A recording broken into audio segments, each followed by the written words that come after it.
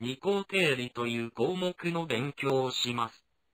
ズバリと定理を紹介するのではなく、じっくりと導いていきます。まず、この公式は知っています。カッコ A プラス B の2乗は展開するとこうなりました。3つの項になりました。係数は順に1、2、1でした。同様に、カッコの3乗の公式はこうでした。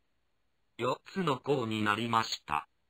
係数は順に1、3、3、1でした。では、カッコの4乗の公式はどうなるでしょう実は、こうなります。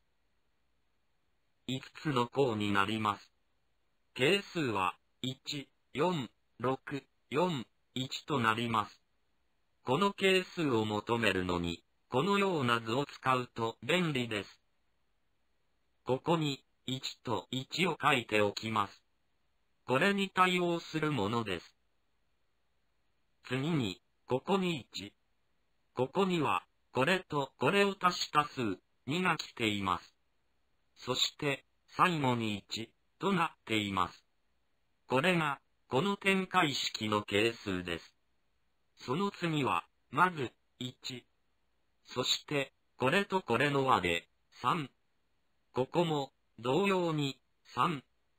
最後は1です。この展開式の係数になっています。その次も、括弧の4乗の場合も、同様に作っていくのです。係数は、1、4、6、4、1となりますね。以下も同様です。これを、パスカルの三角形、と言います。では、これらの係数を計算で求める方法を考えましょう。この、括弧の4乗の場合で解説します。この式は、このように、4個の括弧の掛け算です。そして、これらをかけていくわけですが、まず、これらの A をかけます。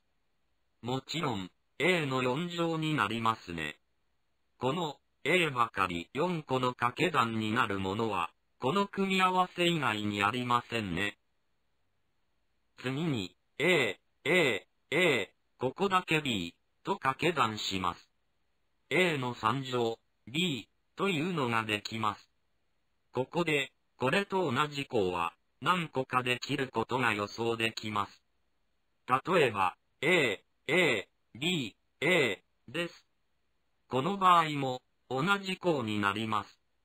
他にも A、B、A、A、B、A、A、A があります。全部で4通りありました。つまり、この項の係数は4になるのです。この4を計算で求めましょう。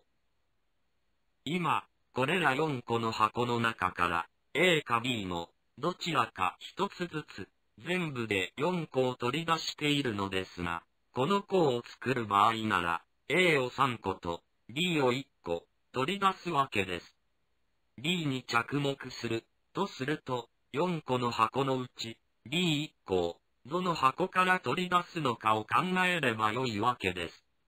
よって 4C1 で計算して4通りとなるわけです。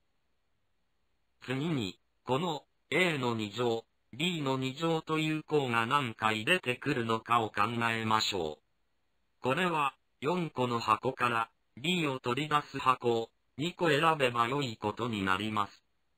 つまり、4C2 で計算すればよい、ということになります。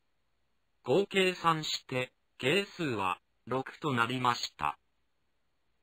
この場合なら、B に着目するとして、4個の箱から B を取り出す箱を3個選ぶのですから、4C3 となります。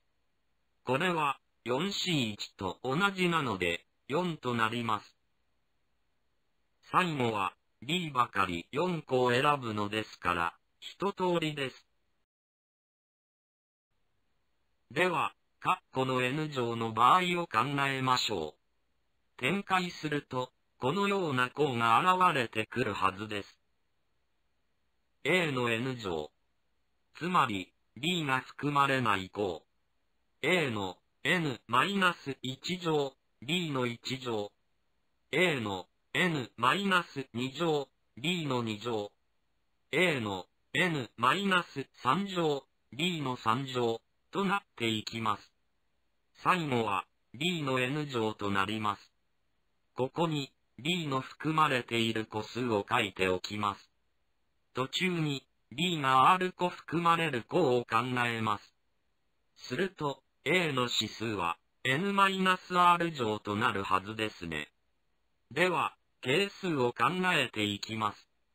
D に着目するとします。ここは N 個の箱のすべてから A だけを取り出す、つまり D を取り出さないという場合ですから NC0。つまり一通りです。ここは N 個の箱から D を取り出す箱を一つ決めればいいので NC1。次は NC2。点点点となっていきますね。ここは D を取り出す箱を R 個選択すればいいので、NCR となります。最後は、すべての箱から D だけを選択するのだから、NCN、つまり、一通りです。できました。これが、二項定理の公式です。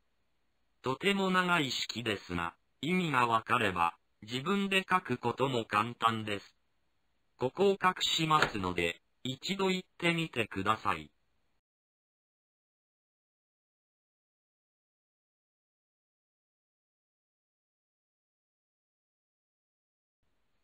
では、このページを終わります。